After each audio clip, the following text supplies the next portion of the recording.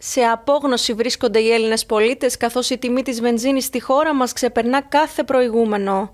Στις 2 Αυγούστου αναρτήθηκε η υψηλότερη τιμή στη βενζίνη στο νησί της Κο, η οποία έφτασε τα 2,99 ευρώ ανά λίτρο, σπάζοντας έτσι κάθε ρεκόρ ακρίβεια στην ιστορία της ελληνικής αγοράς καυσίμων.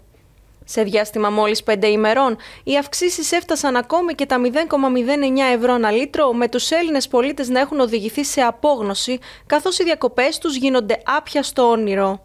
Από την επεξεργασία των υψηλότερων τιμών, προκύπτει ότι η βενζίνη έχει εκτιναχθεί σε δυσθεώρητα επίπεδα.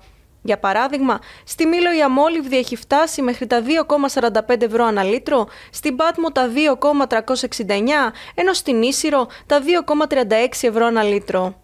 Με βάση τα στοιχεία του παρατηρητηρίου τιμών υγρών καυσίμων, η αμόλυβδη έχει ακριβήνει σχεδόν κατά 10 λεπτά του ευρώ ανά λίτρο σε κάτι παραπάνω από ένα μήνα.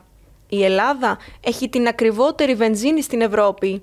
Όπως αναφέρει σχετικά, η πρόεδρος των βενζινοπολών Αττικής Μαρία Ζάγκα, για το γεγονός αυτό ευθύνονται οι φόροι και συγκεκριμένα ο ΦΠΑ και ο ειδικός φόρος κατανάλωσης που αποτελούν από κοινού το 60% της τιμής της βενζίνης.